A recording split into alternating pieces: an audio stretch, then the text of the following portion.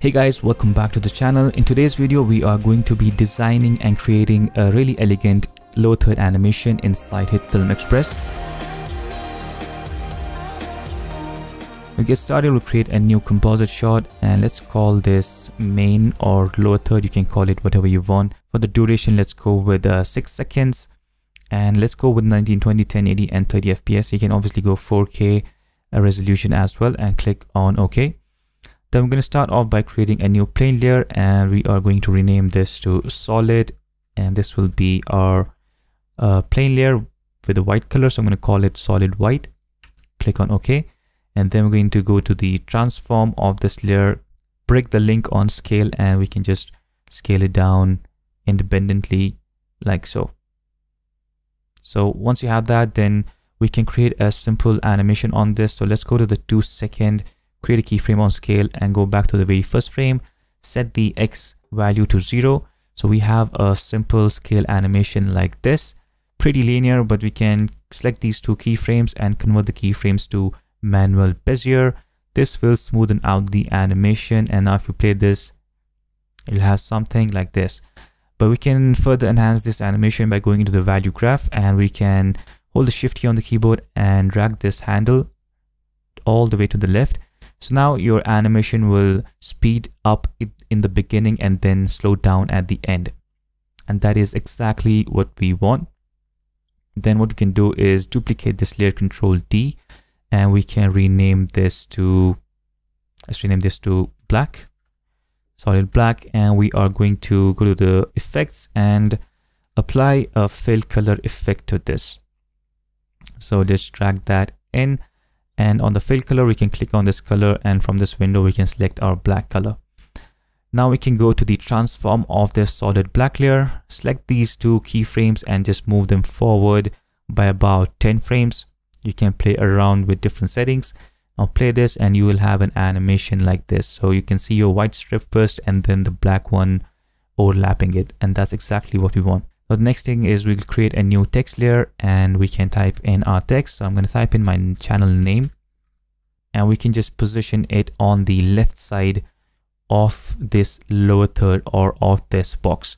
Now you go to the text tab and uh, right now you can see the paragraph is set to center alignment and what that will do is if you keep it to center alignment then if you change the text if you want to add more characters or if you want to delete some characters you can see that it will lose the positioning of that left edge and that is because the alignment is set to the center but if we change that let me undo this if we change that to left alignment and then with the selection tool we can just put this text on the left edge of this box and now if we remove some characters or if we add characters you'll see that it will not lose its position. It will stay on the left edge of this box. If you are creating low thirds templates or title templates, then make sure you use these paragraph settings over here. All right, that is looking pretty cool. Then we can rename this layer. We can call this name and we can just duplicate this, position it under our main text. And this one we are going to call, I don't know, tagline or something. With the text tool, we can change it to I'm going to type in content creator and this time we are going to change the font weight. The font that I'm using is Montserrat and I'm going to go with a regular font weight this time and I'll reduce the size as well. So something like that. And again with the selection tool, we can just move it up. So we're going to keep it closer to our text and we can select these two layers and just bring them in the center. Now we just need to make sure that this text is visible only inside this shape and we are going to use our favorite effect which is set matte effect and we're going to apply it on our both of the text layers first we'll go with the main text layer let's apply a set matte on it we're going to set the source layer to solid white. You can also do solid black. That's completely up to you.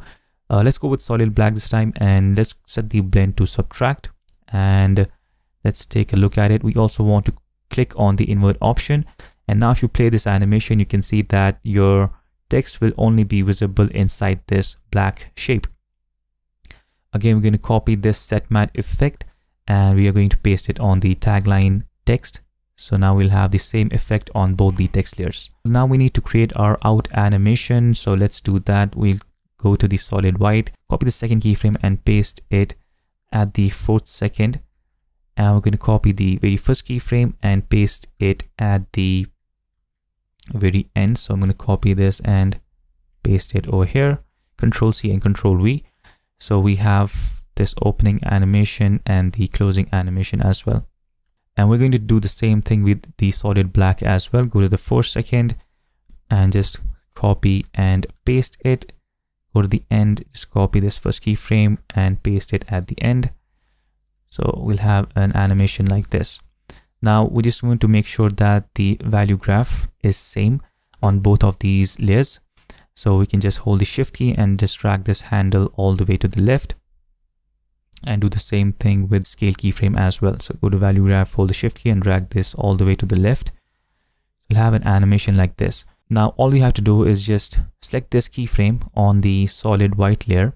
Select this third keyframe and just move it forward by about 10 frames. So we get that same effect that we have at the beginning that we see the white color first and then the black color. We need the same effect for the out animation as well. And that will just make it look much better. So yeah, there you have it. Then you can just save this as a preset. I have a tutorial on how you can create presets in HitFilm. So you just have to basically publish your text layers and you can just, uh, you know, publish basically any effect that you want and you can create a template out of it or you can save this composite shot as a composite shot. So click on save as and you can just save it anywhere that you want. And the next time you open up HitFilm, you just have to click on import special media click on that and then you just have to click on composite shot. And then you just have to search for the same composite shot that you just created.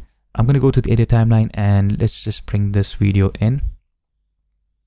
And we are going to bring in our animation as well. Just put this at the top.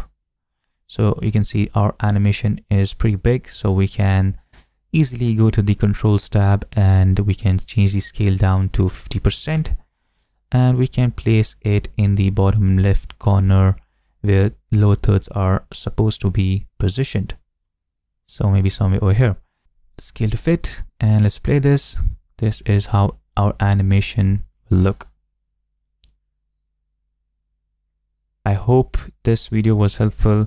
If it was then please make sure you leak if it was, then please make sure you like the video and also subscribe to the channel. Thank you so much for watching. I'll see you guys in the next one.